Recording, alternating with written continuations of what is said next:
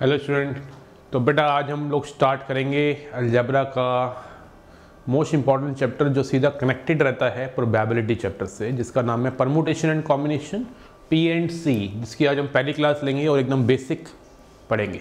ठीक है? तो जल्दी से बेटा एक लाइव आ जाएँगे सब बच्चे और स्टार्ट अपन लोग करने वाले हैं।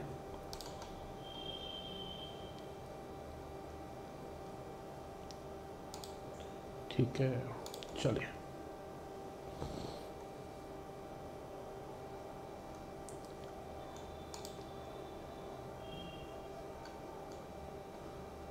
चैट को मैं थोड़ी देर के लिए बंद करना पसंद करूँगा। चलिए। पीएनसी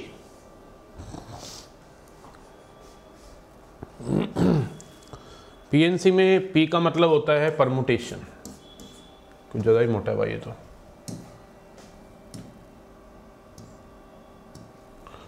परमुटेशन पी का मतलब क्या है? परमुटेशन और सी का मतलब होता है कॉम्बिनेशन परमुटेशन का मतलब है अरेंजमेंट और अरेंजमेंट दो प्रकार की होती है। चीज़ों को जब आप रो में अरेंज करते हैं, या चीज़ों को जब आप सर्कुलर अरेंज करते हैं, जब चीज़ों को आप रो में अरेंज करते हैं रो वाइज तो उसको रो वाइज अरेंजमेंट कहते हैं, जिसको हम लीनियर अरेंजमेंट भी कहते हैं। और चीज़ों को जब हम सर्कल में अरेंज करते हैं, लोगों को या चीज़ों को तो उस अरेंजमेंट को हम बोलते हैं सर्कुलर अरेंजमेंट कॉम्बिनेशन में आप सीखेंगे कि चीज़ों को सिलेक्ट कैसे करते हैं कॉम्बिनेशन कैसे बनाते हैं। Selection when you select the things है ना? जब चीज़ों को आप सिलेक्ट करते हैं। सिलेक्शन जैसे एक क्लास में 20 बच्चे हैं, मुझे दो बच्चों को सिलेक्ट करना है तो कितने तरीके से कर सकता हूँ? कितने कॉम्बिनेशन बनेंगे दो दो के? ये हम सीखेंगे किसमें सिलेक्शन में कॉम्बिनेशन में। तो पहले क्या पढ़ना चाहिए? पहले कॉम्बिनेशन ही पढ़ना चाहिए, क्योंकि चीज़ों को पहले सेलेक्ट किया जाता है, उसके बाद ही अरेंज किया जाता है। भाई, अगर मुझे 20 लोगों में से चार लोगों को लाइन में खड़ा करना है तो पहले तो मैं सिलेक्ट ही करूँगा ना उनको, कि अपने आप ऑटोमेटिक वो अपने आप ही अरेंज हो जाएँगे। ठीक है ना? तो भाई सिलेक्शन करना पड़ेगा पहले, उसके बाद ही तो अरेंजमेंट होगी।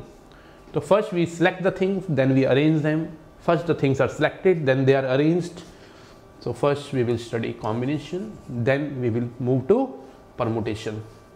But before that, we must know about the factorial.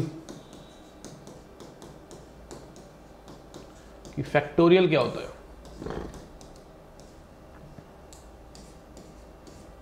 ये साइन है फैक्टोरियल का and it works only for whole numbers चीज़ों को अरेंज करने के काम आता है। जैसे मान लो मैंने बोला थ्री फैक्टोरियल तो थ्री फैक्टोरियल का मतलब है तीन इंटू दो इंटू एक। इसका आंसर आ गया छ कितना आ गया? छ इसका मतलब है कि अगर तीन डिफरेंट चीज़ें हैं, मान लो मेरे पास ए बी सी ये छः क्या रिप्रेजेंट कर रहा है, ये मैं बताना चाहता हूँ। इसका मतलब है कि अगर तीन डिफरेंट चीज़ें मेरे पास हैं ए बी सी तो इनकी अरेंजमेंट जो होगी, वो छः तरीके से हो सकती है। कैसे कैसे? A B C A C B B A C B C A C A B C B A छः अरेंजमेंट्स इसलिए थ्री फैक्टोरियल सिक्स होता है। इसलिए थ्री फैक्टोरियल क्या होता है? Six four factorial twenty four होगा, चार, तीन, दो, एक। पाँच फैक्टोरियल पाँच, चार, तीन, दो, एक एक सौ बीस होगा। छः फैक्टोरियल छः पाँच, चार, तीन, दो, एक, सात सौ बीस होगा। सात फैक्टोरियल सात छः पाँच, चार, तीन, दो, एक फाइव और फोर होगा। आठ फैक्टोरियल आठ से लेके वन तक का चालीस, तीन सौ बीस होगा। नौ factorial three six two double eight zero होगा। और ten factorial three six two double eight double zero होगा। टू फैक्टोरियल टू होगा, वन फैक्टोरियल वन होगा और ज़ीरो फैक्टोरियल भी वन होता है। ज़ीरो फैक्टोरियल वन होता है, इस बात का मतलब है कि ज़ीरो चीज़ों को जब हम अरेंज करेंगे, तब भी एक तरीका होगा, जब सारी चीज़ों को अरेंज नहीं करेंगे। ज़ीरो चीज़ों को अरेंज करेंगे तो उसका भी एक तरीका होगा, जब हम सारी चीज़ों को अरेंज नहीं करेंगे that's why zero factorial is one तो हमें दस फैक्टोरियल तक याद रहने चाहिए, अच्छी बात होती है। दस फैक्टोरियल तक हम लोगों को याद रहने चाहिए। अच्छी बात होती है। तो भाई, और फाइव फैक्टोरियल से एंड में ज़ीरो भी आनी स्टार्ट हो जाती है। देखो ध्यान से। At the end of five factorial you will see zero और आफ्टर डैट ज़ीरो आती ही आती है। फाइव फैक्टोरियल के एंड में ज़ीरो आनी स्टार्ट हो जाती है। क्योंकि अपने आप में क्वेश्चन एंड ए में आने लायक और आ चुका क्वेश्चन है कि किसी फैक्टोरियल के एंड में कितनी ज़ीरो होती है। अगर कोई बोलता है फिफ्टी फैक्टोरियल तो पचास फैक्टोरियल के एंड में कितनी ज़ीरो होंगी? ये वो आपसे पूछेगा। ठीक है ना? ठीक है ना? फाइव फैक्टोरियल से ज़ीरो आनी स्टार्ट हो जाती है। सौ फैक्टोरियल के एंड में कितनी ज़ीरो होंगी? 200 फैक्टोरियल के एंड में कितनी ज़ीरो होंगी? 70 फैक्टोरियल के एंड में कितनी ज़ीरो होंगी? ऐसा क्वेश्चन पूछ सकता है। ठीक है ना? तो ये फैक्टोरियल का मतलब होता है कि अगर तीन फैक्टोरियल की बात मैंने बताई छः आ रहा है तो इसका मतलब है कि तीन डिफरेंट चीज़ों को अरेंज करने के छः तरीके होंगे। सात फैक्टोरियल का मतलब पाँच हज़ार चालीस है तो इसका मतलब है कि सात डिफरेंट चीज़ों को अरेंज करने के तरीके पाँच हज़ार चालीस होंगे। दो डिफरेंट चीज़ों को अगर आप अरेंज कर रहे हो ए और बी को तो इनको अरेंज करने के दो ही तरीके होंगे, एक ए बी होगा और एक बी होगा। समझ रहे हैं आप बात को?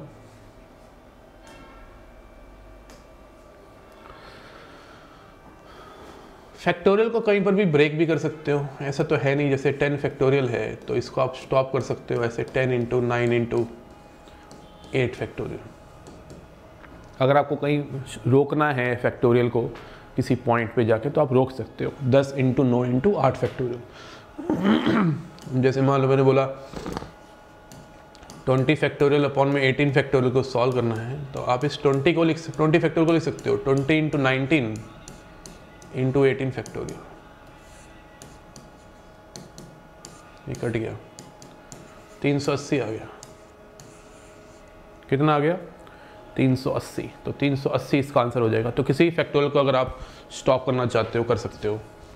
तो एक बार पेज को पीछे लेके जाता हूँ। एन फैक्टोरियल लिख देता हूँ तुम्हारे लिए। एन फैक्टोरियल एन फैक्टोरियल क्या होगा? N N minus one N minus two N minus three चार इंटू तीन इंटू दो इंटू एक। चार इंटू तीन इंटू दो इंटू एक। ठीक है ना? वो तो ऑब्वियस सी बात है वन तक जाएगा तो चार से पहले पाँच भी आएगा। तो भाई कोई भी फैक्टर लो वन तक तो जाएगा ही भाई। ठीक है? वन तक तो वो जाएगा ही।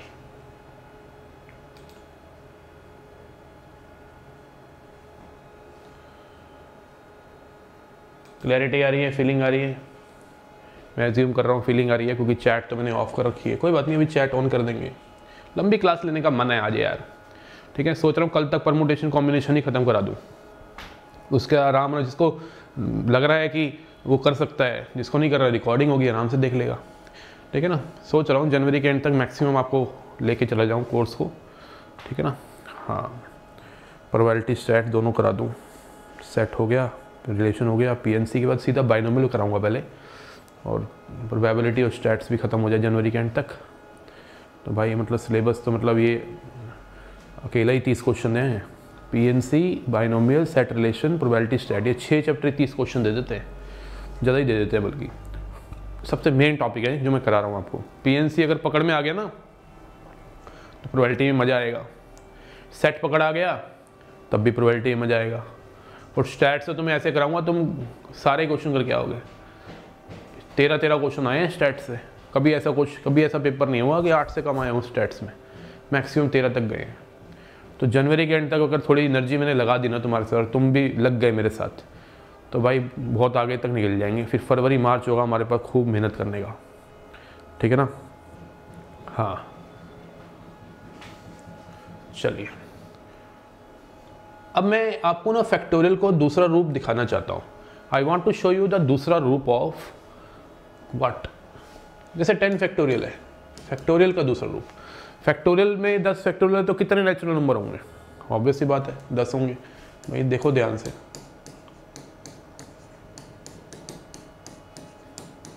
होंगे कि नहीं?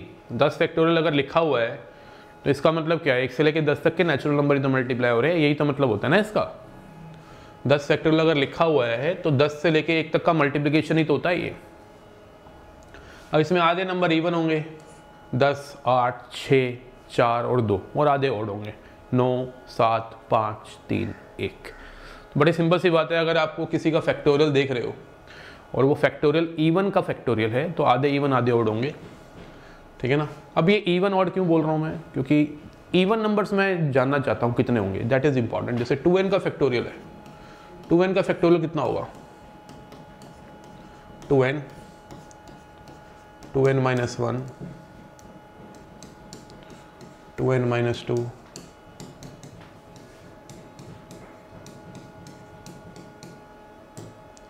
ये हमारा टू एन का फैक्टोरियल है। ठीक है जी? क्या है? टू एन का फैक्टोरियल। अब इसमें कितने नंबर मल्टीप्लाई हो रहे होंगे? नेचुरल नंबर सोचिए। इसमें N number multi sorry two N natural number multiply हो रहे होंगे। पहले two N natural number multiply हो रहे होंगे। इसमें आधे इवन होंगे, आधे ओड होंगे। इवन कितने होंगे? एन क्योंकि एक से लेके टू एन तक नेचुरल नंबर्स हैं तो आधे इवन होंगे ऑब्वियस सी बात है। एन इवन होंगे एन ऑड होंगे। इवन कौन से होंगे?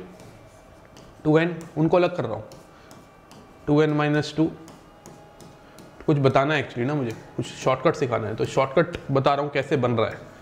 तो मैंने इवन को अलग कर लिया, चचा, और ऑड को अलग कर लिया मेरे भैया। ये भी एन है।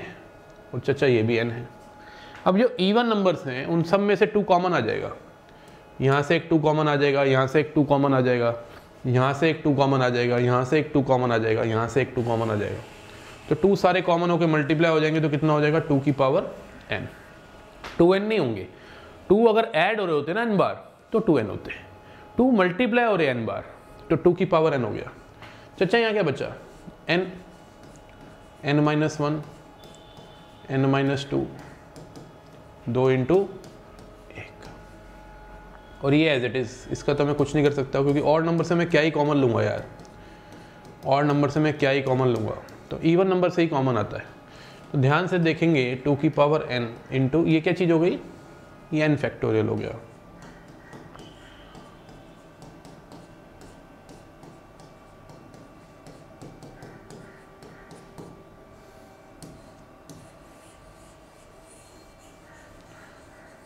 तो ये टू एन का फैक्टोरियल आपके सामने आ गया।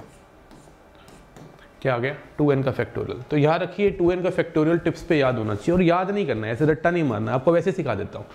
आप किसी भी फैक्टोरियल के अंदर ना, बस इतना पता लगा लिया करो इवन नंबर कितने हैं। उसको टू की पावर में चढ़ा दिया करो और उतने का ही फैक्टोरियल लिख दिया करो और जितने भी और नंबर है, उनको यहाँ लिख दिया करो। देखो कितना सिंपल है। हमें रट्टा मारना ही नहीं है। प्रोसीजर मैंने सिखाया ज़रूर है but I don't want you to cram it you just understand the concept suppose I write hundred का फैक्टोरियल ना? तो इस हंड्रेड फैक्टोरियल में एक से लेके हंड्रेड तक नेचुरल नंबर मल्टीप्लाई हो रहे होंगे। You just need to know कि कितने इवन होंगे। इवन होंगे पचास। तो दो की पावर में लिख दे पचास। और पचास का फैक्टोरियल साथ में चिपका दे। और इनटू में सारे और नंबर और नंबर कितने होंगे? 99, 97, 95 डाइड तीन इंटू अब आप सोच रहे हो कि सर आप सिर्फ़ इवन नंबर का ही फैक्टोरियल ले रहे हो? अरे चचा, आप 51 का फैक्टोरियल ले लेते चल।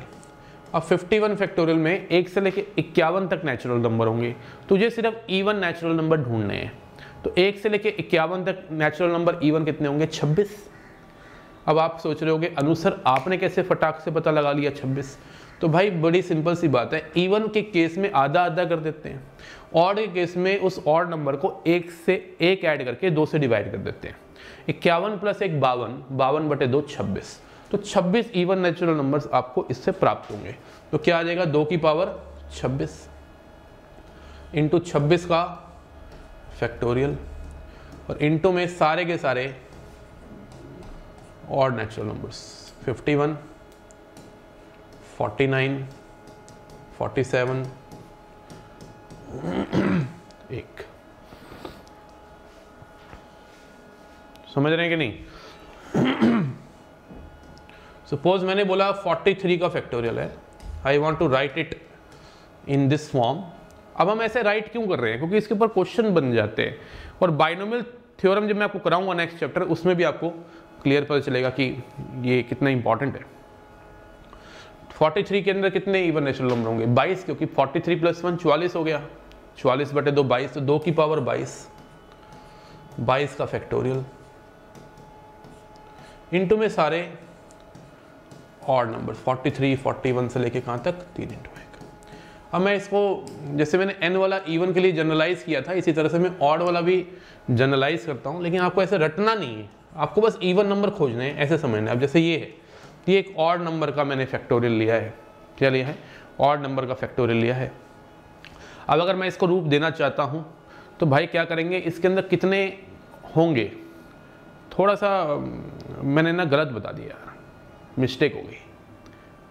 इट्स माई मिस्टेक या माइनस करना था वो। तो प्लस करने के बाद तो बेटा और नंबर्स आते हैं। इवन नंबर ढूँढने ना तो यहाँ पे थोड़ी सी मिस्टेक होगी मुझसे। हो जाती है। ठीक है ना? यहाँ पे ये गलत लिख दिया। ये भी गलत लिख दिया। माइनस वन करके आता है बेटा इवन नंबर ना। क्या कर रहे हो तुम? प्लस वन करके तो प्लस वन करके टू से डिवाइड करके तो और नंबर पता चलते हैं। माइनस वन करके टू से डिवाइड करके ही आपके इवन नंबर पता चलते हैं। इक्यावन में से एक घटाना है माइनस के एक, एक, एक करना है तो पचास पच्चीस आएगा यहाँ पे। तरतालीस में से एक घटाएँगे बयालीस इक्कीस आएगा यहाँ पे। टू एन प्लस वन में से एक घटाएँगे टू एन बटे टू एन आएगा। तो टू की पावर इंटू एन का फैक्टोरियल सारे के सारे और नंबर ठीक है वो थोड़े से एक बार सही कर लेना। बात समझ गए। तो आपको कभी भी एक से लेके नेचुरल नंबर दे रखे हों और और तक जा रहे हो और आपको पता लगाना हो कितने इवन है, कितने और है तो आधे आधे नहीं होते। आधे आधे तो इवन के केस में होते हैं। और के केस में इवन पता लगाना है तो टोटल में से माइनस एक बटे दो और प्लस और और पता लगाना है कितने तो प्लस एक बटे दो। बोलो किस किस को क्लियर है? मामला ओम प्रकाश है। जल्दी से बता देगा बेटा।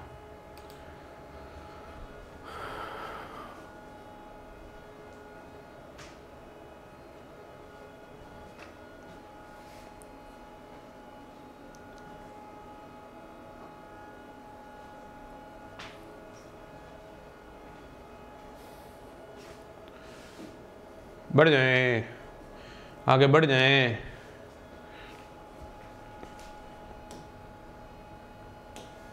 तो टॉपिक डालेंगे how to find exponent in N factorial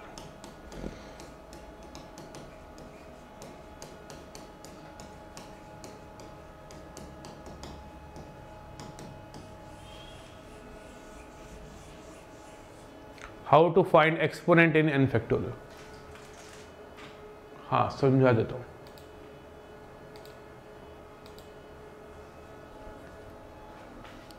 last वाला कुछ नहीं है, ये एक और नेचुरल नंबर लिया है मैंने, ये और नंबर लिया है। और और नंबर का फैक्टोरियल है तो ऑब्वियसली बात है एक से लेके टू एन प्लस वन तक नंबर्स होंगे। इसमें ईवन कितने होंगे? तो टोटल नंबर जो हैं टू एन प्लस वन है, उसमें से एक घटा दो। टू एन प्लस वन में से एक घटाओगे तो टू एन हो जाएगा। बटे दो करोगे तो एन हो जाएगा। तो इवन नेचुरल नंबर्स हो गए, इस पूरे फैक्टोरियल के अंदर एक से लेके टू एन प्लस वन तक जाएगा ना ये। उसमें इवन नेचुरल नंबर्स हो गए एन तो टू की power N into N factorial और सारे और नंबर्स यहाँ लिख दिए। ठीक है ना? Now the question now the concept comes कि कैसे किसी फैक्टोरियल के अंदर एक्सपोनेंट निकालते हैं। सबसे पहले तो इस वर्ड को जानना बहुत ज़रूरी है कि एक्सपोनेंट होता क्या है। तो जैसे मान लो मैंने आपको बताया कि टेन फैक्टोरियल लिखा हुआ है तो टेन फैक्टोरियल का क्या मतलब है? टेन इंटू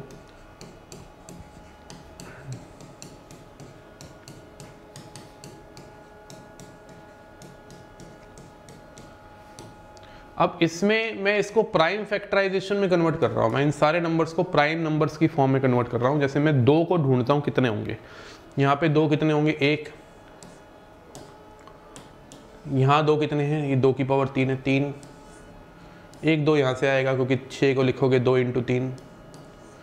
दो दो यहाँ से आएँगे क्योंकि दो की पावर दो है और एक ये रहा दो तो देखा जाए तो तीन, चार, पाँच, तीन, आठ। तो ये दो की पावर आठ हो गया। तो ये जो आठ है, ये दो का एक्सपोनेंट है। एक्सपोनेंट का मतलब पावर होता है इंडेक्स कहते हैं। तीन देखते हैं, तीन का एक्सपोनेंट ये तीन की पावर दो है, दो तो यहाँ से आ गए। एक यहाँ से आ गया है तीन की पावर चार हो गया। पाँच का एक्सपोनेंट देखते हैं। चार का एक्सपोनेंट नहीं देख रहा क्योंकि चार तो टू में मर्ज हो गया ना। प्राइम नंबर्स की फॉर्म में ही एक्सपोनेंट दिखाला जाता है। ठीक है ना? मतलब देखा जाता है। ऐसा नहीं है कि चार की पावर में बना नहीं सकता। चार की पावर चार होगी। उसका भी एक्सपोनेंट होगा। लेकिन मैं अभी प्राइम नंबर्स को फॉर्म कर रहा हूँ। तो पाँच देखूँ तो एक पाँच मेरे चच्चा यहाँ से निकल आएगा, एक यहाँ से निकल आएगा। तो पाँच की पावर दो हो गई। सात देखूँ तो सात की पावर एक है। तो इस टेन फैक्टोरियल में अगर कोई आपसे पूछता है, टू का एक्सपोनेंट क्या है? एक्सपोनेंट को कैपिटल ई e से डिनोट करते हैं। एक्सपोनेंट टू का किसके अंदर? टेन फैक्टोरियल के अंदर। तो मेरे दोस्त, मेरे भाई कितना है? आठ। एक्सपोनेंट अगर मुझे निकालना है थ्री का, टेन फैक्टोरियल के अंदर तो भैया चार आएगा। एक्सपोनेंट अगर पाँच मुझे देखना है टेन फैक्टोरियल के अंदर तो कितना है? दो है। एक्सपोनेंट अगर मुझे देखना है सात का टेन फैक्टोरियल के अंदर तो मेरे भाई कितना है एक है। Are you getting my point तो यहाँ पे ये एक्सपोनेंट्स मैंने इस तरीके से निकाल दिए।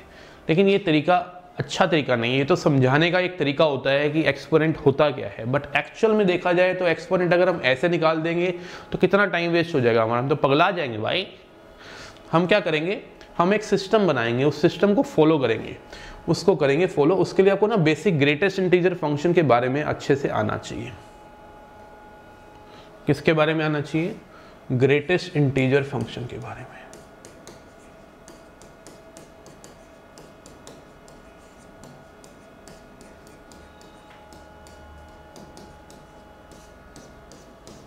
जैसे अगर मैं आपको बताऊँ, थोड़ा सा याद दिलाऊं ग्रेटेस्ट इंटीजर फ़ंक्शन इसे कहते हैं ग्रेटेस्ट इंटीजर फ़ंक्शन तो ग्रेटेस्ट इंटीजर फ़ंक्शन के अंदर एक खास बात होती है कि अगर आप इसमें कोई इनपुट डालते हैं तो आउटपुट आ जाएगी। जैसे 2.4 का ग्रेटेस्ट इंटीजर फ़ंक्शन क्या होगा?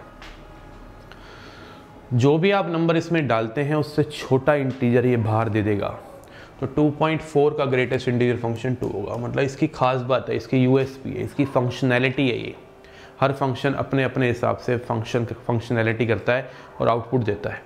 अगर मैं बात करूँ ग्रेटेस्ट इंटीजर फ़ंक्शन की तो इसकी जो इनपुट है वो ऑल रियल है। इसमें आप कुछ भी डाल सकते हैं। लेकिन ये जो रिज़ल्ट बाहर देता है, ये हमेशा एक इंटीजर होता है। याद रखिए, कोई भी आप नंबर अगर ग्रेटेस्ट इंटीजर फ़ंक्शन में डाल रहे हैं, उससे छोटा इंटीजर ही बाहर आएगा। 2.4 डालेंगे तो 2 आएगा। 3.0000006 डालेंगे तो चचा 3 आएगा। इंटीजर डालोगे तो इंटीजर ही आ जाएगा। टेन डालोगे तो मेरे दोस्त टेन ही आ जाएगा। अगर आप कोई नंबर माइनस में डाल रहे हैं तो ध्यान रखना, माइनस थ्री पॉइंट वन डाला तो माइनस थ्री मत लिख देना। माइनस थ्री पॉइंट वन से छोटा इंटीजर सोचिए माइनस फोर है। तो ग्रेटेस्ट इंटीजर फ़ंक्शन की खास बात क्या है? वो ले तो सब कुछ लेता है, लेकिन देता सिर्फ़ इंटीजर है। दबा के लाइक ठोक दो क्लियर है तो। अगर आपको इतनी सी बात क्लियर है तो समझ लो आपको एक्सपोनेंट निकालना आपके लिए कोई बड़ी बात नहीं रह गई। एक्सपोनेंट निकालना तुम्हारे लिए बड़ी बात नहीं रह गई। तो अगर मैं कहता हूँ कि मुझे एक्सपोनेंट निकालना है टू का, हंड्रेड फैक्टोरियल में, किसमें? हंड्रेड फैक्टोरियल में। तो देखो कितना सिंपल प्रोसेस होता है ये। कितना ही सिंपल होता है, तुम कहोगे सही में सर कितना ही सिंपल है। तो भाई करना क्या है, आपको अगर कभी भी किसी फैक्टोरियल के अंदर किसी भी प्राइम नंबर का फैक्ट एक्सपोनेंट निकालना हो, ध्यान रखना ये जो कॉन्सेप्ट करा रहा हूँ, ये जो शॉर्टकट करा रहा हूँ, ये प्राइम नंबर के एक्सपोनेंट के लिए है। तो आप उस हंड्रेड को जिसके फैक्टोरियल के अंदर आपको किसी का एक्सपोनेंट निकालना है तो उसको टू से डिवाइड करके बाहर ग्रेटेस्ट इंटीजर फ़ंक्शन ठोक देना है। और नीचे नंबर पावर को बढ़ाते चले जाएँगे। बढ़ाते ही चले जाएँगे, रुकेंगे नहीं। अपने आप ही रुक जाएँगे। अपने आप ऑटोमेटिक रुक जाएँगे, मुझे पता है।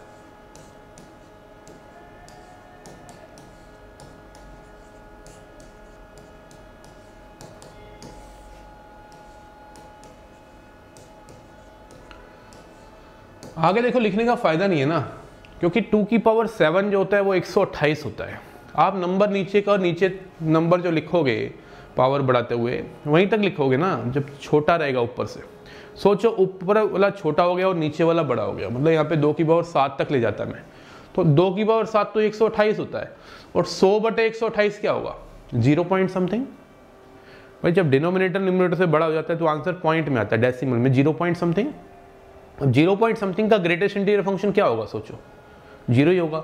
तो आगे अगर आप लिख भी लोगे दो की पावर सात, दो की पावर आठ, दो की पावर नौ तो आना फाइनली रिज़ल्ट ज़ीरो ही है तो नो नीड टू राइट तो आप ऐसे समझेंगे, आप तब तक ही लिखेंगे जब तक नीचे वाला नंबर छोटा रहेगा।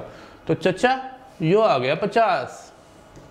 चचा, यो आ गया पच्चीस। क्यों आया? पचास। पच्चीस दिख रहा है क्लियर ये आठ। आठ से डिवाइड करोगे सो को तो बारह अठ छियानवे बारह पॉइंट समथिंग तो बारह पॉइंट समथिंग का ग्रेटेस्ट इंटीरियर फ़ंक्शन बारह. चचा, ये कितना है? सोलह छिक्का छियानवे छः पॉइंट समथिंग छः आ गया.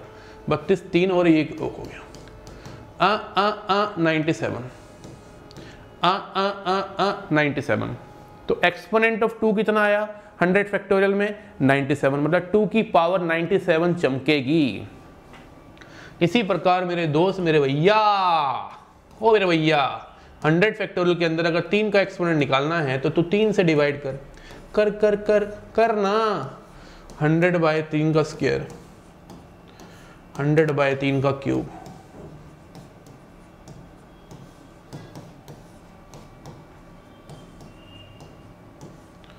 तो ये आ गया तैंतीस पॉइंट समथिंग समथिंग तैंतीस आ गया। ये है नौ नौ ग्यारह आ गया। ये सत्ताईस तिया इक्यासी, तीन आ गया और ये एक आ गया। अड़तालीस हो गया। पाँच का एक्सपोनेंट निकाल दे मेरे दोस्त।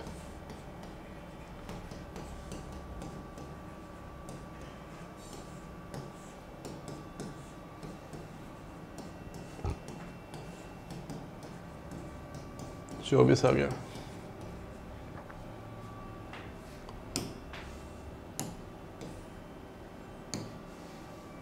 तो इसका मतलब है 100 फैक्टोरियल में 2 की पावर 97 है 3 की पावर 48 है, और 5 की पावर 24 है। 7 की पावर भी कुछ होगी, मैं निकाल नहीं रहा, मेरा दिल नहीं कर रहा। क्या ही करना है? कॉन्सेप्ट समझाना है मुझे तो। तुम कर लेना यार, सात से डिवाइड करना, एक बार सात स्क्र से करना, ठीक है ना? अब ये मैंने लिख दिया। तो अगर कोई पूछे 100 फैक्टोरियल में दो का एक्सपोनेंट कितना है तो 97 है। तीन का एक्सपोनेंट अड़तालीस है, पाँच का चौबीस है। अब यहाँ से एक और नई चीज़ सीखने को मिलती है। आप मुझे बताओ, किन दो नेचुरल किन दो प्राइम नंबर्स को मल्टीप्लाई करके टेन बनता है? किन दो प्राइम नंबर्स को मल्टीप्लाई करके टेन बनता है, ये बताओ तुम, चलो। सिर्फ़ दो ही प्राइम नंबर हैं, एक दो और एक पाँच। इनको ही मल्टीप्लाई करके आप हमेशा प्राप्त क्या करेंगे? टेन प्राप्त करेंगे। तो अगर मैं आपसे पूछूँ, इसमें टेन की पावर कितनी होगी? तो आपको दो के एक्सपोनेंट और पाँच के एक्सपोनेंट को मर्ज करना पड़ेगा। दो की पावर 97 जब पाँच की पावर 24 से भिड़ेगी तो 10 की पावर 24 बनेगी, क्योंकि छोटा नंबर 24 है। मैं आपको थोड़ा सा एक्सप्लेन करना चाहता हूँ। 97 में से मैं थोड़ा टुकड़े मारता हूँ, इसके टुकड़ा करता हूँ इसका। दो की पावर 24 ले लेता हूँ अलग, और 73 मेरे भैया अलग ले लेता हूँ।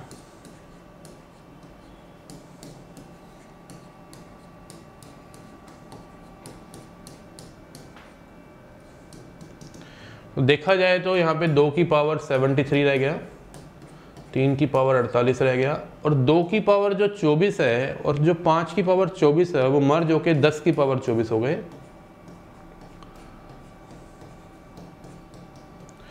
तो यहाँ पे 10 की पावर 24 हमें क्या रिप्रेजेंट करता है?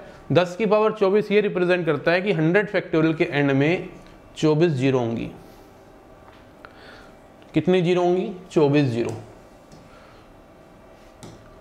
आप मुझे ध्यान से बताइए, सोच के बताइए, दस की पावर क्या बनी?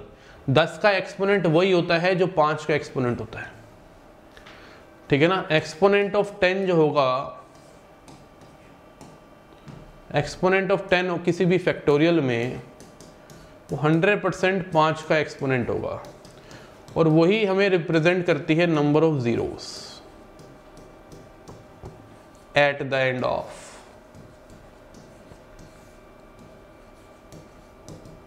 N factorial मतलब अगर कोई आपसे बोले find the number of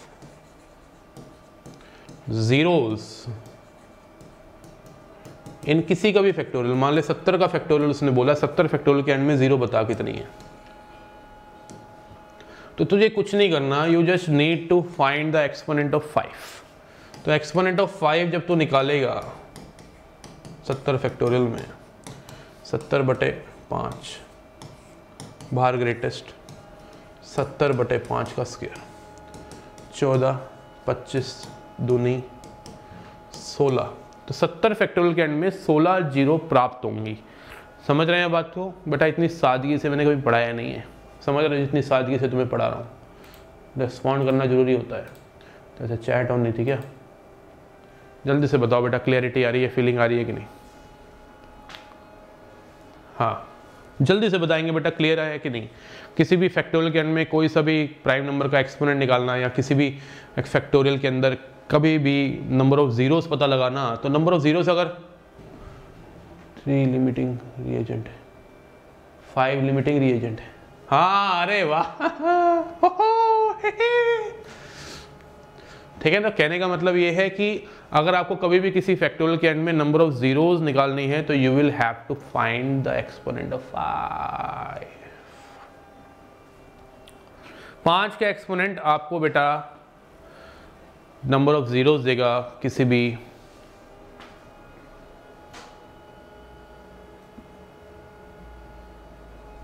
ठीक है तो एक क्वेश्चन आपके लिए बनता है इसी बात पे। Find the number of zeros डरे तो नहीं।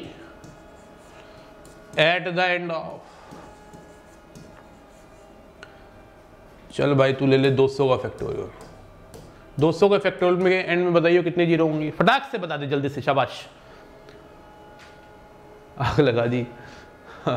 चार का एक्सपोनेंट पूछेगा नहीं, पूछेगा तो दो का एक्सपोनेंट निकाल के अद्धा कर दियो। अद्धा कर दियो अद्धा ठीक है? तो चार का एक्सपोनेंट आ जाएगा। मैं आप विद नॉन प्राइम नंबर्स का भी एक्सपोनेंट निकालना सिखा देता हूँ, कोई बहुत बड़ी चीज़ नहीं होती, ठीक है ना? अभी इसको क्वेश्चन को करते हैं पहले। पहले इसको करते हैं, उसके बाद देखते हैं। अब देखो प्रैक्टिस की बात है कि आप कितनी प्रैक्टिस करते हैं, ठीक है? सीधा पाँच से डिवाइड करो, चालीस तो आ गया।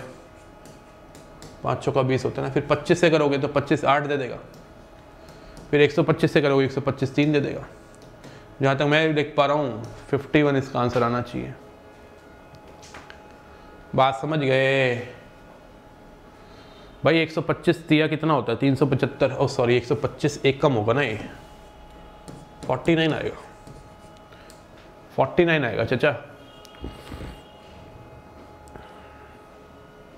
51 गलत है दिव्या।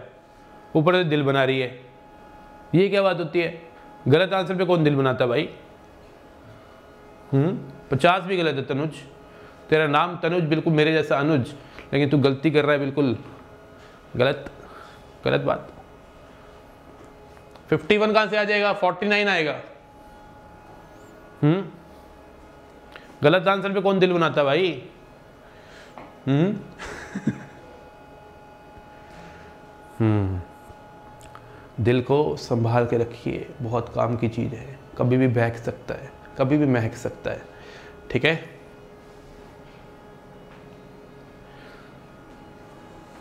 हम्म। अब एक बच्चे ने पूछा, सर नॉन प्राइम नंबर्स का एक्सपोनेंट कैसे निकाले? किसी ने बोला, सर 14 का एक्सपोनेंट निकाल दो। हाँ बेटा, वो तो है ही अनुज सर पेप्सी दो रुपए की पेप्सी अनुज सर सेक्सी उसमें कहने वाली बात क्या? अनुज सर तो है ही सेक्सी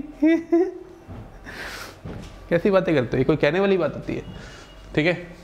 हाँ वो बताओ जो तुम्हें नहीं पता, या मैं बताऊँ जो तुम्हें ना पता हो, ठीक है? देखो इधर। तो मैं ये कह रहा था मेरे भाई, अब एक बच्चे ने पूछा, सर सर जी छः का एक्सपोनेंट निकाल दो छः का। दीपांशु लेता हूँ कॉल पे।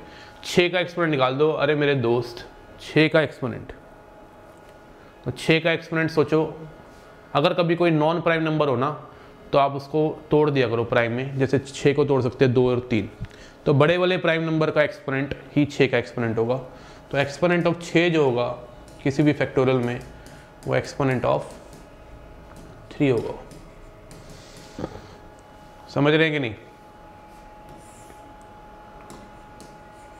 जैसे मैंने अभी आपको एक्सपोनेंट ऑफ़ टेन करवाया था किसी भी फैक्टोरियल में तो मैंने इस दस को कैसे तोड़ा था? दो इंटू पाँच में ना? तो बड़े वाले प्राइम नंबर का जो एक्सपोनेंट होगा वही दस का होगा क्योंकि जब आप मर्ज करोगे दो की पावर समथिंग और पाँच की पावर समथिंग तो दस की पावर वही तो बनेगी जो छोटी होगी अब जैसे मान लो मैंने बोला कि दो की पावर सात है और तीन की पावर चार है तो कोई आपसे पूछे छः की पावर क्या बनेगी इससे तो ऑब्वियस ही बात है जब तू दो की पावर सात और तीन की पावर चार को मल्टीप्लाई करेगा तो यहाँ के दो की पावर चार ही तो इससे मल्टीप्लाई होकर छः की पावर चार बनाएँगे तो किसी भी नॉन प्राइम नंबर्स का अगर तू एक्सपोनेंट निकालना चाहता है तो उसको प्राइम नंबर में तोड़, बड़े वाले प्राइम नंबर का जो एक्सपोनेंट होगा, वही उस नंबर का एक्सपोनेंट होगा। बताओ क्लियर है कि नहीं? दबा के लाइक ठोको, दिल बनाओ। दीपांशु पाल को कॉल पे ले लेते हैं। Deepanshu Pal wants to talk to me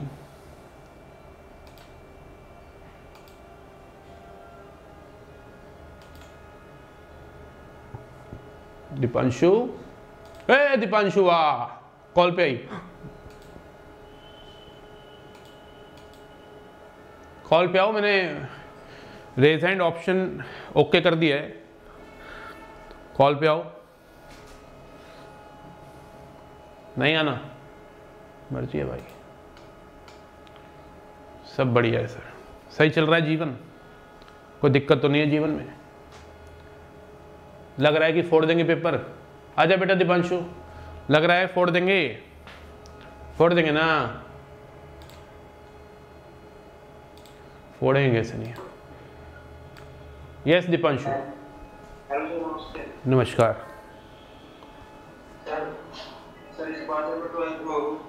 congratulations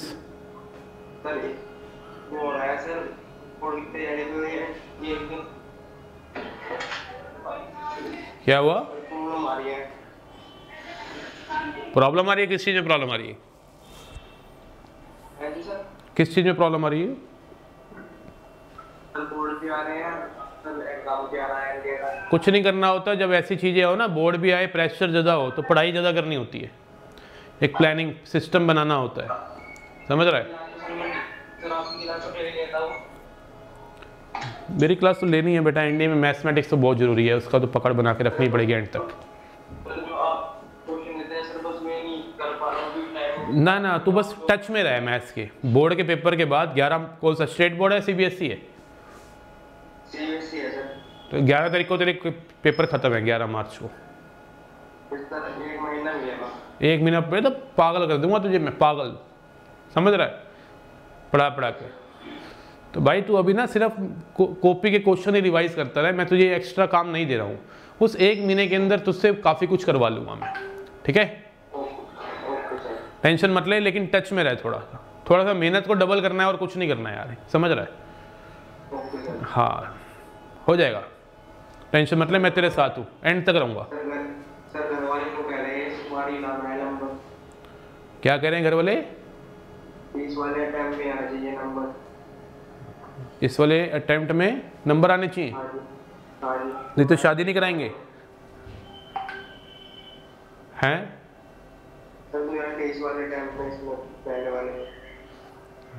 हाँ बेटा हो जाएगा ना। घर वालों को क्या कि करूँगा मैं मेहनत।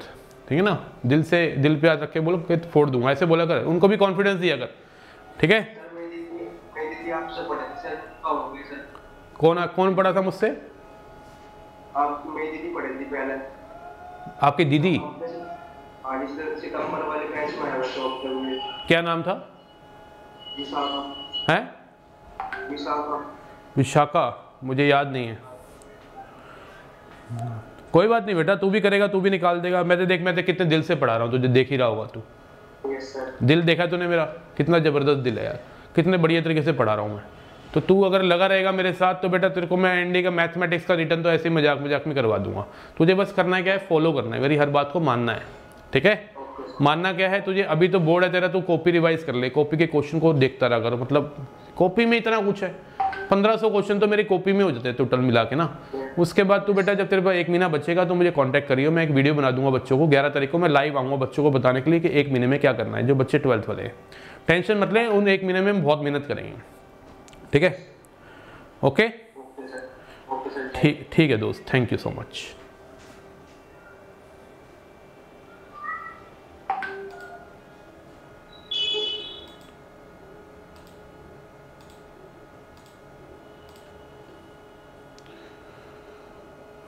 तुम्हारे बोर्ड्स पत, पिछले पढ़ाई करनी होती है बस।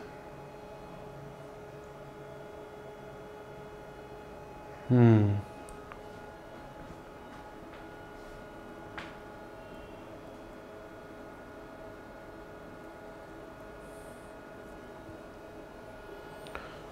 क्लियर हुआ कि नहीं? तो किसी भी नंबर का एक्सपोनेंट आप निकाल सकते हो। एक छोटी सी बात और लिख लो यार, छोटी सी प्यारी सी नन्नी सी, मुन्नी सी। ठीक है ना?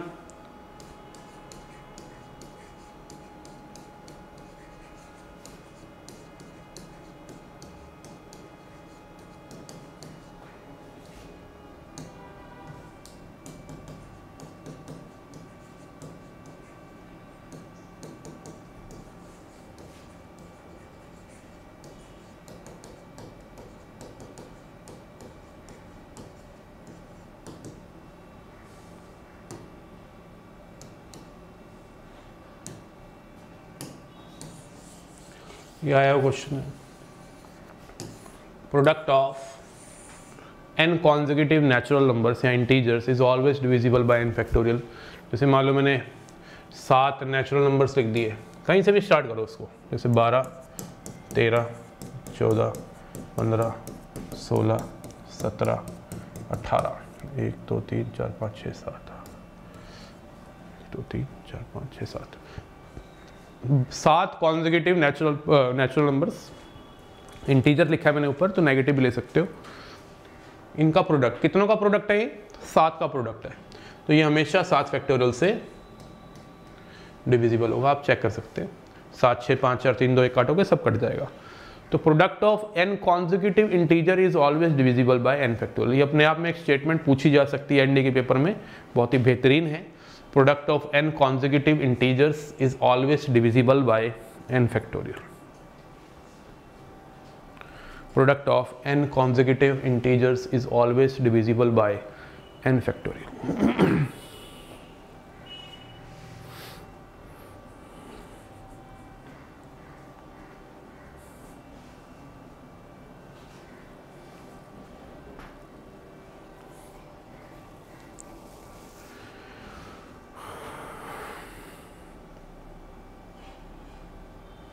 हो गया।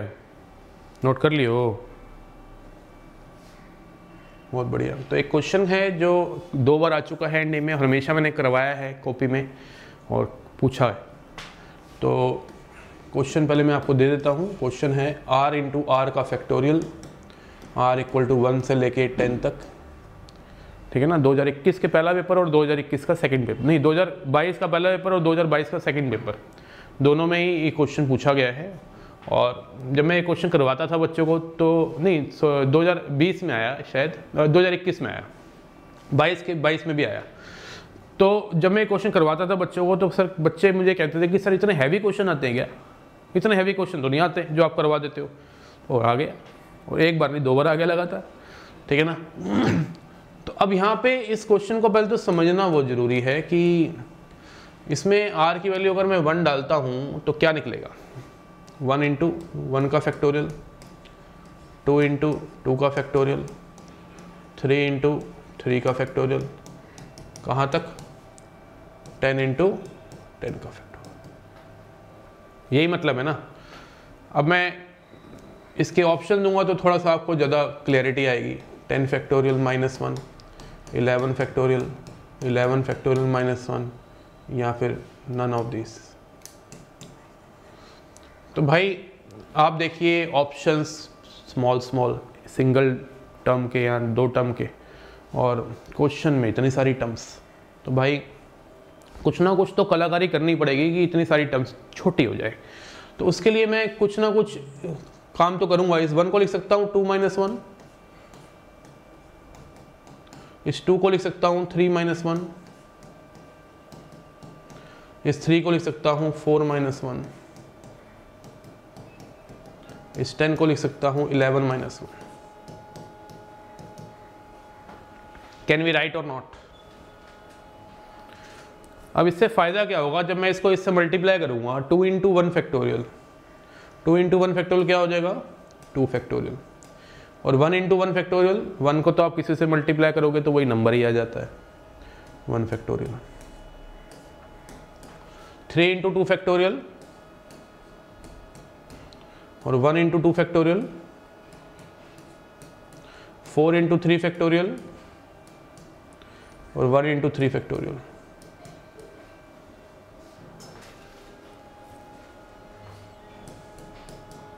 तो eleven into ten factorial one into ten factorial इससे फ़ायदा क्या हुआ कि हर ब्रैकेट की पहली टर्म अगले ब्रैकेट की दूसरी टर्म से कट पा रही है। ये कट गया। और ये भी पिछले वाले से कट जाएगा। बचेगा क्या इलेवन फैक्टोरियल? क्योंकि उसको आगे काटने वाला कोई मिलेगा नहीं। और वन फैक्टोरियल बच गया क्योंकि इसको काटने वाले पीछे कोई टर्म नहीं थी। वन फैक्टोरियल वन होता है। तो इलेवन फैक्टोरियल माइनस वन आ गया। तो इसका जनरल रिज़ल्ट मैंने हमेशा बच्चों को याद करवाया है क्लास में कि R into R factorial R one से लेके अगर एन तक है तो आंसर होता है एन प्लस वन का फैक्टोरियल माइनस वन। ये आपके लिए भी एक जनरल रिज़ल्ट है, जो काम का है। R into R factorial is equal to N plus one का फैक्टोरियल माइनस वन ठीक है? अब एनडी के पेपर में जो क्वेश्चन आया, अभी नोट करवा दूँगा बेटा। वो कैसा आया? ए एन दे रखा है N into N factorial same question आ गया भाई, एकदम ना, बस थोड़ा सा रूप चेंज कर दिया। सिग्मा की जगह उसने ऐसे दे दिया। ये क्वेश्चन आया हमारा 2000 शायद 21 के पेपर में आया सेकंड में या फ़र्स्ट में। तो भाई जिनको तो मेरी पढ़ाई हुई बातें याद थी, वो तो लगा दिया दस दस सेकंड में आंसर आ गया।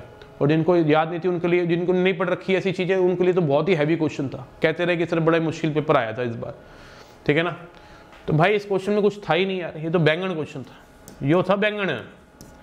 तो ये वही तो है one into N into N factorial इसका आंसर था सीधा एन का काम कौन कर रहा है? टेन तो सीधा इलेवन का फैक्टोरियल माइनस वन सबसे पहले तो सब बच्चे इसको लिख लेंगे, जो मैंने अभी करवाया है, हो सकता है कुछ बच्चों को क्लैरिटी ना आई हो तो मैं इसको रिपीट भी कर दूँगा, लेकिन मैं पहले पूछूँगा क्लैरिटी आई है कि नहीं आई है।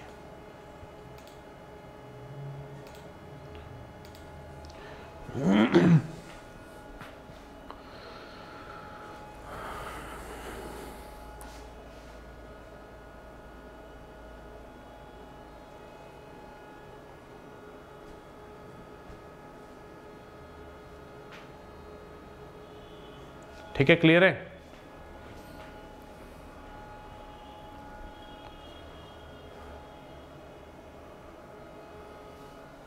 हो जाएँगे यार तो पढ़ेगा तो होंगे ना, अब धीरे धीरे होंगे यार।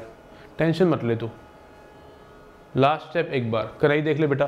ये क्लियर है तुझे? देख, यहाँ पे इसको तूने two minus one three minus one four minus one में तो मुझे लगता है तुझे को कोई दिक्कत नहीं आई होगी। अब तुझे नॉर्मल मल्टीप्लिकेशन करनी भी आती होगी, तूने बचपन में सीखी होगी नॉर्मल मल्टीप्लिकेशन यार, कि दिस इंटू दिस जैसे मैं तुझे दिखा देता हूँ, जैसे X minus Y into Z होता है तो कैसे करता है मल्टीप्लाई एक्स को जेड से करता नहीं है क्या? X Z minus Y Z वही किया है मेरे भैया। दो को एक फैक्टोरियल से मल्टीप्लाई करेगा तो दो इंटू एक फैक्टोरियल सोच क्या होगा? दो फैक्टोरियल नहीं होगा? और एक इंटू एक फैक्टोरियल तो एक फैक्टोरियल ही होगा। तीन इंटू दो फैक्टोरियल तीन फैक्टोरियल होगा, एक इंटू दो फैक्टोरियल दो फैक्टोरियल होगा। यहाँ तक पहुँच गया तू। उसके काट दे यार, देख, कट रहा है सब कुछ। सब कुछ कट रहा है। बस एक ये टर्म बच जाएगी क्योंकि इसको काटने के लिए आगे कुछ नहीं मिलेगा। और एक ये बच जाएगी क्योंकि इसको काटने के लिए पीछे कुछ नहीं मिलेगा। तो answer eleven factorial minus one आ गया। फिर मैंने एक जनरल फॉर्मूला ड्राइव कर दिया। बहुत बढ़िया।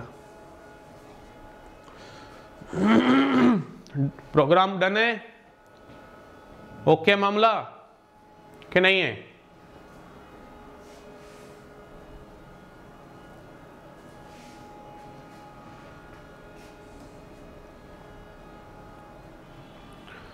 क्वेश्चन जो आया, एक तो ये आया था, ये शायद 2021 में था। एक बार मैं बताना चाहता हूँ दूसरा क्वेश्चन भी ना। पेंडिंग रहेगा, नहीं तो काम।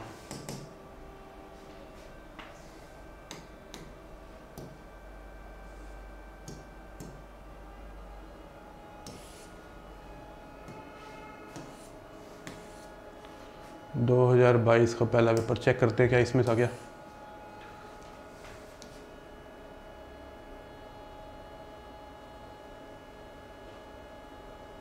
हाँ इसी पेपर में था, मुझे याद आ गया। ये रहा।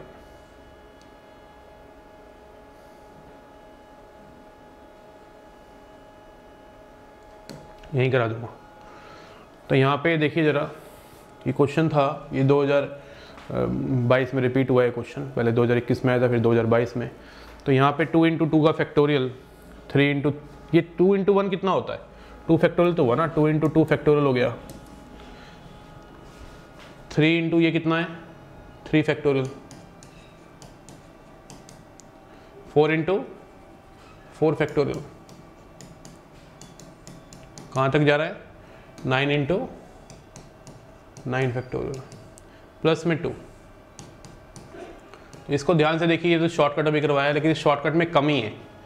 One into one factorial addition में नहीं है, क्योंकि जो मैंने आपको करवाया ना, मैंने जो आपको करवाया, अरे गायब हो गया। जो मैंने आपको अभी करवाया, वो उसमें वन से स्टार्ट हो रहा है वन इंटू वन फैक्टोरियल से। तो ये कमी थी इसमें। तो यहाँ पे टू इंटू टू फैक्टोरियल तो है।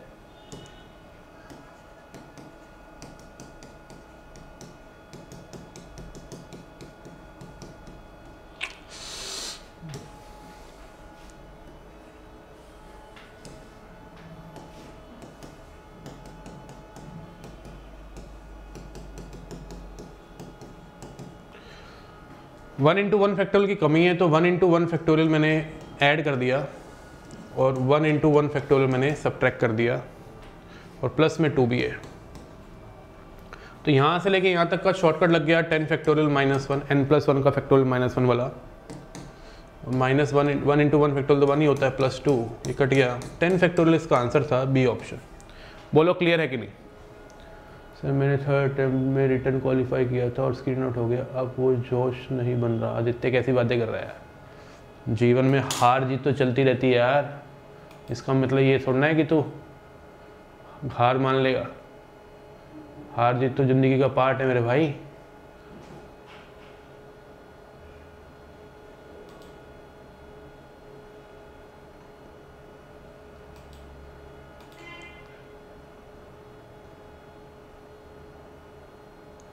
बार बार वही बातें याद आती है।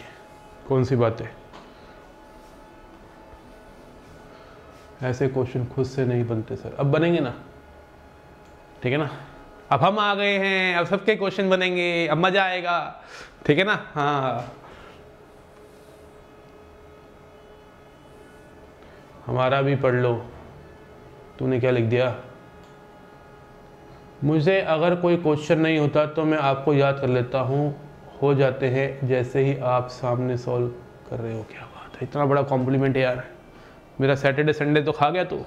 खा गया तो मेरा सैटरडे संडे मेरे को दिन नहीं आने वाली। साइड हो जाता हूँ।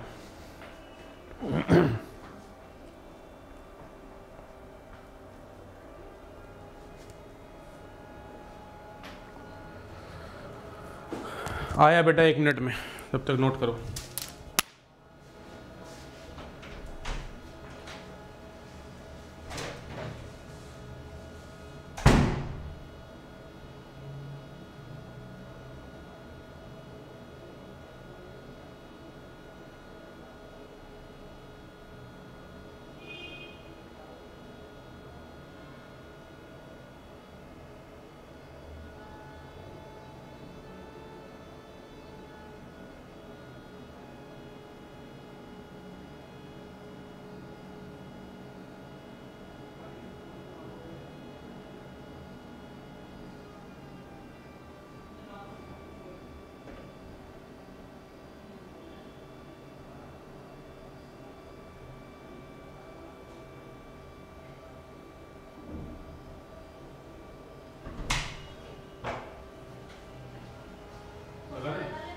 हाँ लगा लो। बेटा, एक मिनट ना। सफ़ाई होगी। वहीं से लगा लो आप, ठीक है? हो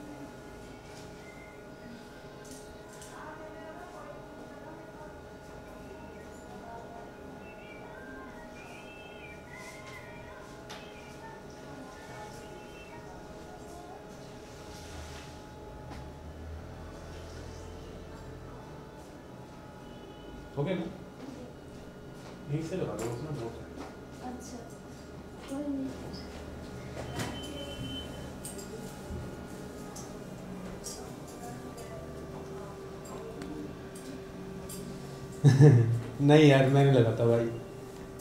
हाँ हाँ जितेंद्र सही बोले आप यार, इसे नीचे से निकल जाए ना बच्चे- बच्चे देखते हैं आपको। यहाँ से दिख रहा है ना कैमरे से?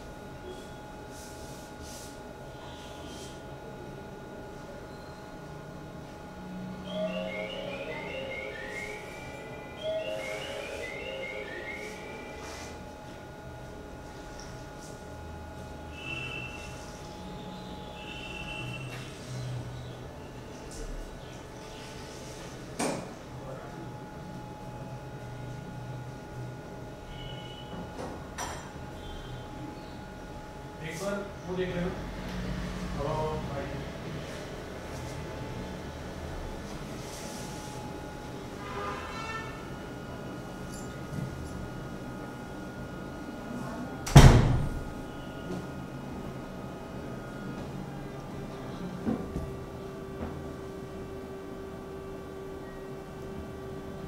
क्या बात है आशुतोष? क्या बात है?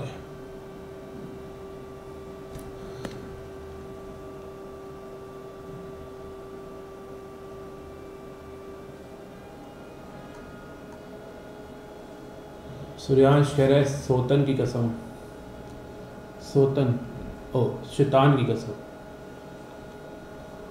मुझे लगा तो कह रहा है सोतन की कसम। नहीं होगा बेटा विश हमारे क्वेश्चन से मैं बड़ा परेशान हो चुका हूँ, ये कब कराओगे, वो कब कराओगे?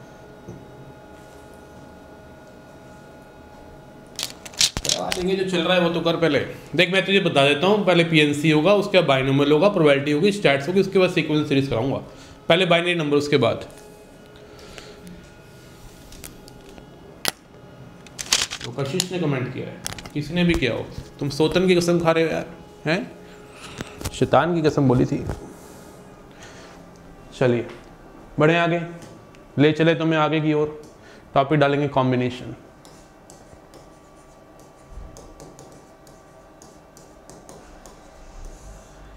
क्या टॉपिक है? कॉम्बिनेशन जो करा रहा हूँ कर लो ना यार अलजेब्रा की शीट अपलोड टेलीग्राम पर अपलोड कर दो प्रिंट आउट निकालना। या कर रखी है कितनी बार करूँगा एक एक चीज़ को मैं यार? दोबारा कर दूँगा और बता। और बता। चलो कॉम्बिनेशन पढ़ते हैं।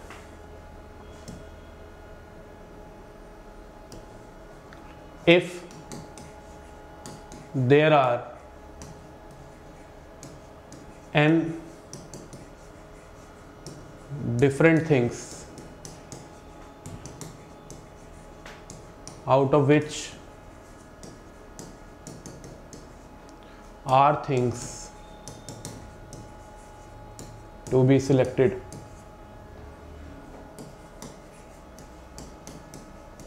Then number of ways will be NCR then number of ways will be NCR ध्यान रखेंगे, दो चीज़ों को हाईलाइट करेंगे। एक तो डिफरेंट को, बस डिफरेंट थिंग्स डिफरेंट को हाईलाइट करेंगे। एक ही चीज़ को हाईलाइट करना है डिफरेंट ये फॉर्मूला तभी लगता है जब डिफरेंट चीज़ें हों। याद रखिए कि अगर आपके पास एन डिफरेंट थिंग्स हैं और आपको उनमें से आर थिंग्स को सिलेक्ट करना है। कितनी थिंग्स को सिलेक्ट करना है? आर थिंग्स को। तो वो आर थिंग्स कितने तरीके से सिलेक्ट हो सकती है, उसके नंबर ऑफ़ वेज जो होते हैं वो एनसीआर होते हैं। क्या होते हैं? एनसीआर क्या होते हैं? एनसीआर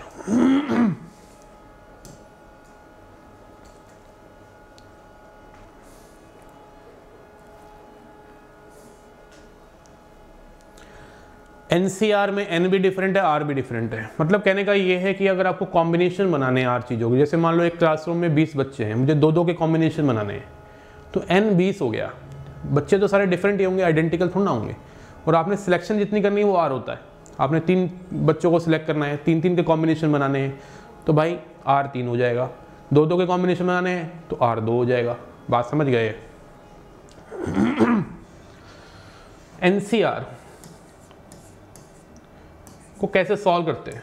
फॉर्मूला होता है एन फैक्टोरियल अपॉन में एन माइनस आर का फैक्टोरियल आर का फैक्टोरियल याद रखिए, ये जो आर है, ये चीज़ें हैं जो हम सिलेक्ट कर रहे हैं।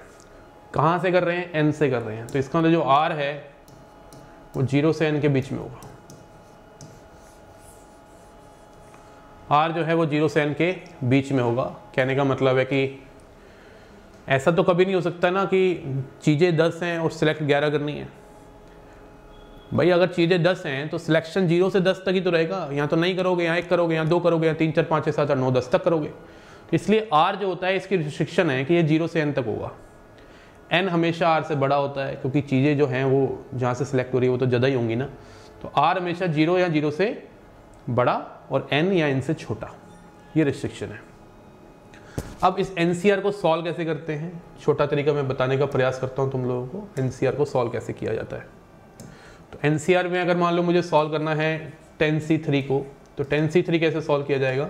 एक तो तरीका ये है कि आप प्रॉपर तरीके से टेन फैक्टोरियल अपॉन में टेन माइनस थ्री सात का फैक्टोरियल, तीन का फैक्टोरियल करो। तो दस इंटू नौ इंटू आठ इंटू सात का फैक्टोरियल लिखो, फिर सात फैक्टोरियल लिखो, तीन फैक्टोरियल को छः लिखो कटा पिटा करो, फिर काट पिट के 120 आंसर आ जाएगा। मैंने करा रहा है ऐसे। यू ना हो पाएगा। टेन सी थ्री को हम क्या करेंगे? दस को तीन बार डाउन मल्टीप्लाई करेंगे। दस इंटू नौ इंटू आठ। बात वही है एक्चुअली बस थोड़े से सेकंड्स को बचाने वाली बात है। कुछ सेकंड्स को बचाने वाली बात है। तो ten into nine into eight तीन बार डाउन मल्टीप्लाई कर दिया। दस इंटू नौ इंटू आठ। और नीचे लिखेंगे तीन का फैक्टोरियल जो कितना होता है? छः एक सौ बीस आ गया। दस इंटू नौ इंटू आठ। तीन बार डाउन मल्टीप्लाई किया। दस नौ आठ। और नीचे लिख दिया तीन का फैक्टोरियल अब जैसे मान लो आपने लिखा twelve C four, twelve C four solve करना है तो बारह इंटू ग्यारह इंटू दस इंटू नौ। चार बार डाउन मल्टीप्लाई किया, क्योंकि बारह सी चार लिखा हुआ है। जो नंबर लिखा है, उसी हिसाब से आप डाउन मल्टीप्लाई करेंगे। और नीचे आ जाएगा चार का फैक्टोरियल चौबीस। सॉल्व करेंगे फोर नाइन्टी फाइव की प्राप्ति होगी। मान लो आपने सॉल्व करना है ट्वेल्व थर्टीन सी टू तो थर्टीन सी टू का क्या मतलब होगा? तेरह को दो बार डाउन मल्टीप्लाई करेंगे, तेरह इंटू बारह, नीचे दो का फैक्टोरियल ठीक है ना? कितना आ जाएगा? तेरह छिक्का अठहत्तर। मान लो आपको सॉल्व करना है एन सी फोर को तो एन सी फोर को सॉल्व करने का क्या मतलब होगा? N into N minus one N minus two N minus three चार बार डाउन मल्टीप्लाई नीचे क्या आएगा? चार का फैक्टोरियल फैक्टोरियल मैंने आपको एक से लेकर दस तक याद करवा दिए हैं तो दिक्कत नहीं आएगी फैक्टोरियल लिखने की नीचे। बोलो क्लियर है कि नहीं? जल्दी से बताएँगे क्लियरिटी आ रही है कि नहीं आ रही।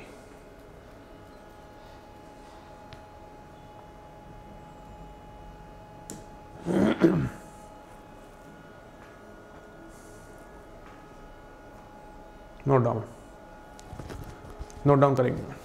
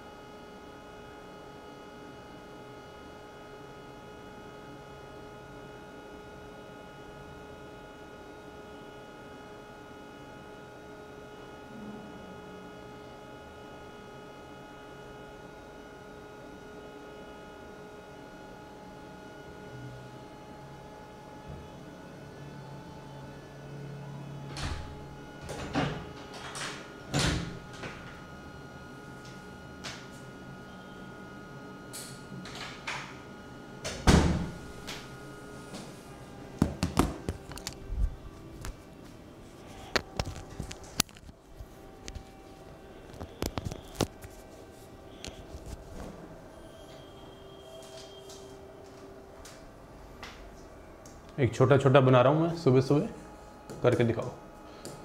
If two N C three ratio N C three equal to बारह रेशो एक फाइंड एन ऑप्शंस आर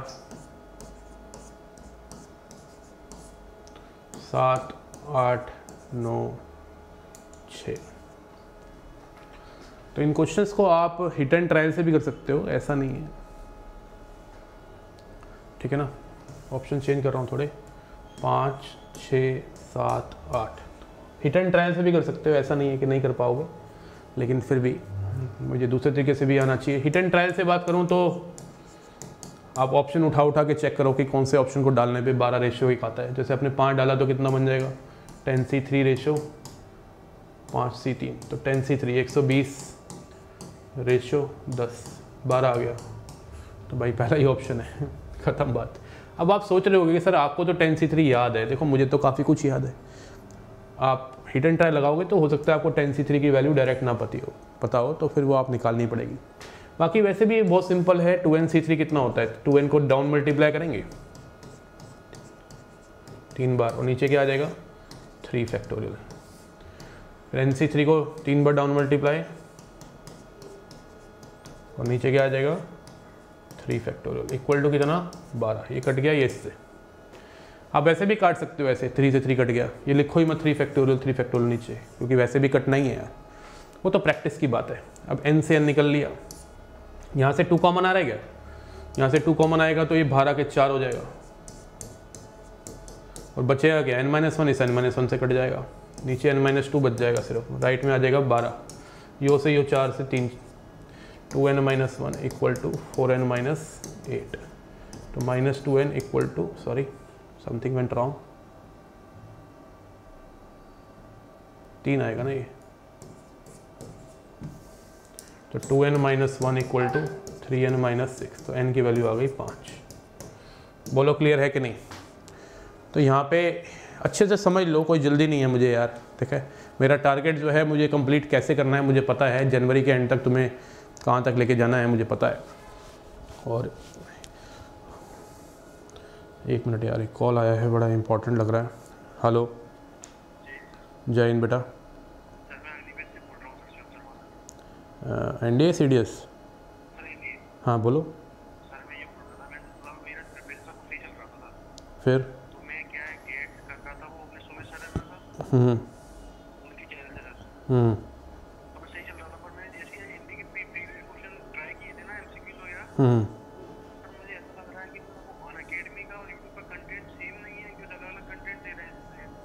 ऐसे ही यार। अभी ना मैं क्लास में था अग्नि की बैच की क्लास चल रही है यार। मैं क्लास में बीच में फ़ोन उठा लिया। मेरा कहीं से ना कॉल आना था एक्चुअली अर्जेंट तो मुझे लगा किसी उन्हीं का होगा लेकिन तू तो अग्नि बैच का स्टूडेंट निकला। तेरी सारी डिस्कस कर लेंगे चीज़ों को। मैं फ्री हूँ आज भी कल भी। ठीक है ना? छुट्टियों पे हूँ आजकल मैं। तो बोला तू फ़ोन मुझे ना साढ़े बारह लगा लियो बच्चे। मैं कहीं निकलूँगा तो मैं रास्ते में बात करूँगा, ठीक है? ओके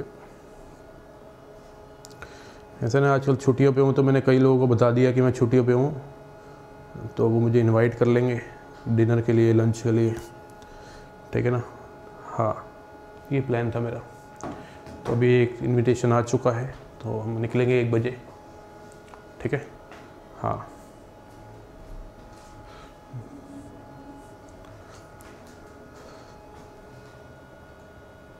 समझ आया कि नहीं आया? ईमानदारी से बताना पड़ेगा। जल्दी से लिख के बता देंगे चैट पे, समझ आया कि नहीं आया? लिखेंगे लिखेंगे, शाबाश जल्दी।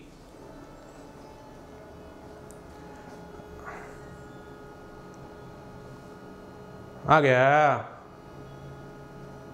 क्लियर बा। क्लियर बा। मौज हो गई आपकी तो मौज गया यार? एक्चुअली क्या होता है कि जब छुट्टियाँ हों और छुट्टियों के बाद जब किसी का कॉल आए और वो कहते हैं कि आज आज लंच करते हैं साथ में डिनर करते हैं साथ में पार्टी करते हैं साथ में तो मैं कहता हूँ, यार, अभी तो मैं तीन दिन फ्री था यार। अब तू आज बता रहा है जब मैं फ्री नहीं हूँ। तो वो मुझे कहते हैं कि आप तूने बताया नहीं यार, तू, तेरी छुट्टियाँ थी यार।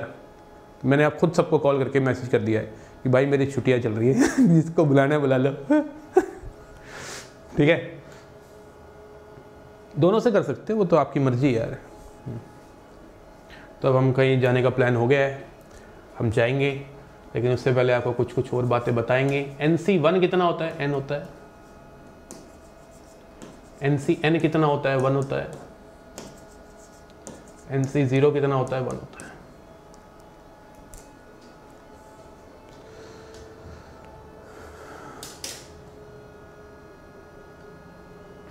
ऑफलाइन में कोर्स हो गया आपका? नहीं नहीं, अभी नहीं हुआ।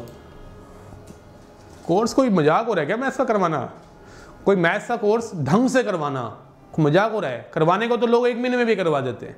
लेकिन सोचो, इतना आसान नहीं है मैथ्स का कोर्स करवाना। मुझे लग रहा है मैंने रिकॉर्डिंग स्टार्ट नहीं करी आज यार। शिट नहीं, है है। भाई, बहुत कोर्स है। सैंतीस चैप्टर इलेवन ट्वेल्थ पढ़ानी होती है पूरी। ऊपर से बच्चों से बात भी करनी होती है। ऊपर से बच्चों के डाउट भी लेने होते हैं। ऊपर से बच्चों को बहुत सारे क्वेश्चंस कराने होते हैं। टेस्ट लेने होते हैं। ये जो लोग कहते ना बस दो महीने में कोर्स करा देंगे। ये बिल्कुल गलत लिखा होता है यार। ये ना बहुत जाती होती है बच्चों के साथ। ये बोलो कि दो महीने में आपको इतनी मैथ सिखा देंगे कि आप एनडी रिटर्न क्लियर कर लो। इतनी ईमानदारी से कोई लिखता नहीं है ना।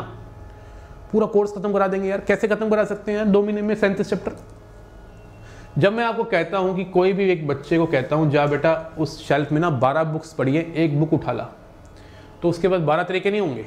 जैसे मान लो मैंने ही आपको कहा, जैसे मान लो मैंने बोला आदित्य को, आदित्य भाई, वो ना शेल्फ में ना बारह बुक्स पढ़ी हैं डिफरेंट एक बुक उठा ला यार, मुझे एक बुक चाहिए, मैं पढ़ना चाहता हूँ। तो बताओ, आदित्य के बाद बारह तरीके नहीं होंगे बुक लाने के? क्योंकि उसमें मैंने ये तो नहीं बोला ना तो भाई ये मैथ्स की बुक लेके आ, या ये हिस्ट्री की बुक लेके आ। मैंने बोला एक बारह बुक्स हैं, उनमें से कोई भी एक बुक उठा ला। तो भाई उसके बाद बारह तरीके होंगे तो इस तरीके से ये चीज़ समझ सकते हैं कि एन में से जब एक चीज़ सेलेक्ट करनी हो तो एन तरीके होते हैं। अब मैं आदित्य को कहता हूँ, चचा, बारह की बारह उठा ला। बारह की बारह ही उठा ला। तो उसका एक ही तो कॉम्बिनेशन बनेगा बारह का, वो बोरिंग में डालेगा या हाथ में पकड़ेगा ऐसे, और बारह की बारह उठा लाएगा। तो एक ही तरीका हुआ एन सी एन हो गया। अब मैं आदित्य को कहता हूँ जब बुक्स उठा ला, और जैसी बुक्स उठाता है, वो सारी की सारी मैं आदित्य को पीछे से बाहर जाएगा तो आदित्य! मतला कोई भी बुक मूड चेंज हो गया भाई।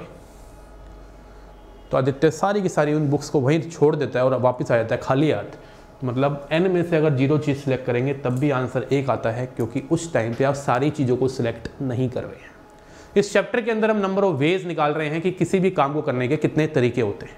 तो किसी भी काम को करने के तरीके हमेशा नेचुरल नंबर की फॉर्म में होते हैं। इस चैप्टर का आंसर कभी भी ज़ीरो नहीं आता नेगेटिव नहीं आता और डेसिमल में नहीं आता। इस चैप्टर के अंदर जितने भी क्वेश्चंस बनेंगे, उनका आंसर कभी नेगेटिव नहीं होगा ज़ीरो नहीं होगा डेसिमल में नहीं होगा। क्योंकि तो किसी भी काम को करने के तरीके नेगेटिव नहीं हो सकते ज़ीरो नहीं हो सकते और फ्रैक्शन में नहीं हो सकते। इसलिए इसका आंसर भी वन है। इसके अलावा N C R N C N minus R के इक्वल होता है। आप एन में से आर चीज़ों को सिलेक्ट करो या एन में से एन माइनस आर चीज़ों को सिलेक्ट करो, बात एक ही है। जैसे अगर मान लो मैंने बोला टेन में से तीन चीज़ों को सिलेक्ट करो, या टेन में से दस माइनस तीन, सात सात चीज़ों को सिलेक्ट करो, बात एक ही है। दस में से तीन चीज़ों को सिलेक्ट करो या दस में से सात चीज़ों को सिलेक्ट करो, बात एक ही है।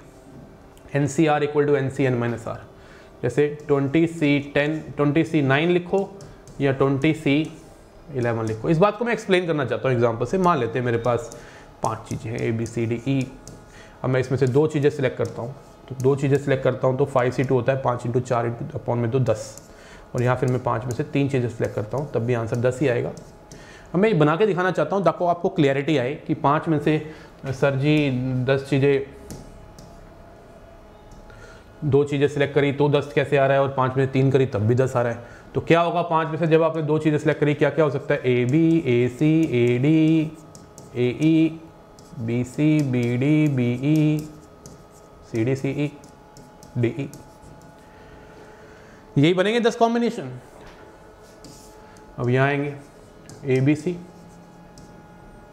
A B D A B E A C D A C E A D E B C D B C E B D E C D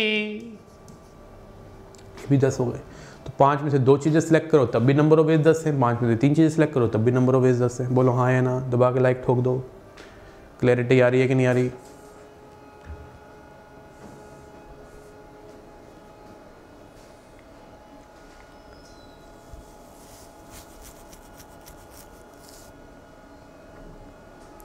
तो एन सी आर हमेशा N C N minus R के equal होता है।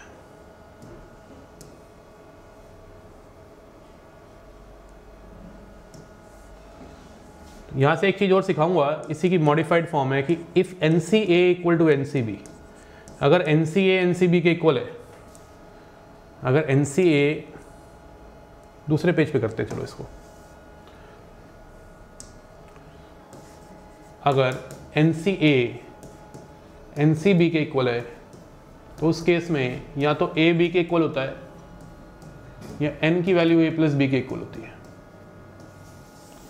अगर N C A N C B के equal है तो या तो ए बी के इक्वल होता है, या एन की वैल्यू ए प्लस बी के इक्वल होती है।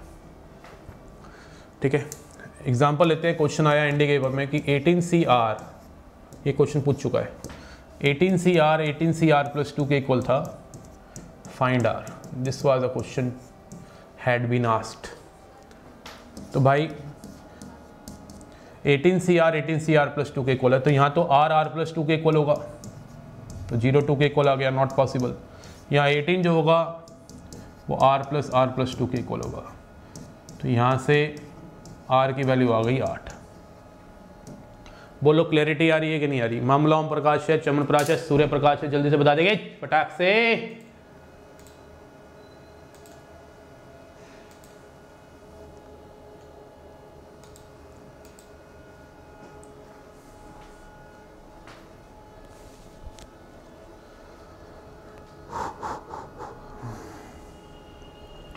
देखो बेटा, आजकल ना मैं बहुत फ्री हूँ तुम लोगों के लिए तो मेरा पूरा प्लान है, आप थोड़ी सी मेहनत को डबल कर दो। पेपर पास आता जा रहा है, इतनी मेहनत करिए यहाँ तक पहुँचे हैं तो अब एंड ख़राब नहीं होना चाहिए। जनवरी में सारे डाउट सॉल्व करने वाला हूँ। तुम लोगों ने अब तक मुझे डाउट्स दिए नहीं है सेट ऑफ़ के रिलेशन के। हम्म? ऐसा नहीं चलेगा जीवन। ठीक है?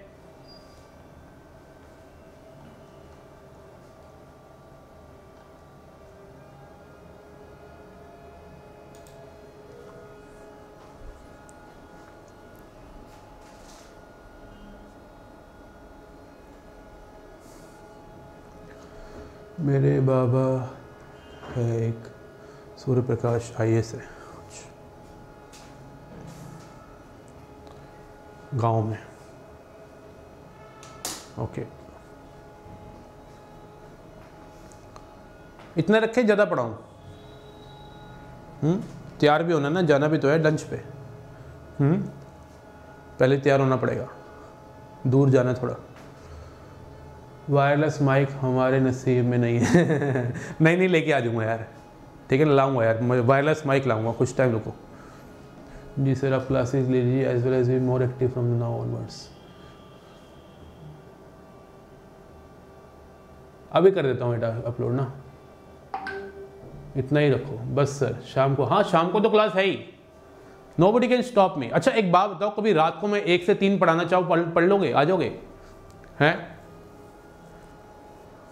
पढ़ लोगे ना? जैसे कई बार मुझे रात को नींद नहीं आती।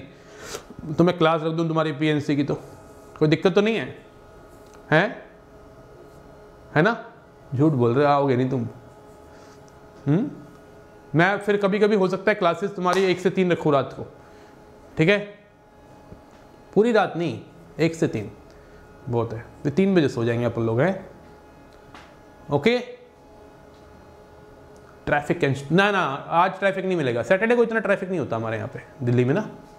हाँ। बस इतना है, जैसे एक घंटे में तीन घंटे लग जाते हैं ट्रैफ़िक में। सैटरडे वाले दिन पौने तीन घंटे लगते हैं। पंद्रह मिनट का फ़र्क रहता है। ट्रैफ़िक कम होता है। नहीं, लूँगा बेटा दुर्लभ। मज़ाक से। हटके सर, चार बजे से भी। डिक्शनरी रैंक में मेरा टाइम आशुतोष प्लीज़ हाँ ठीक है, आशुतोष, लेकिन तेरे नाम में तो एच रिपीट हो रहा है। ठीक है, ले लूँगा तब भी। ठीक है बेटा, पहले तो शाम को मिलते हैं, दस बजे जो भी क्लास लेनी है अपन लोग लेते हैं, ईमानदारी से, उसके बाद देखते हैं रात को भी रख पाए तो एक से तीन रख लेंगे। Thank you so much bye take care जय हिंद कीप लर्निंग बाय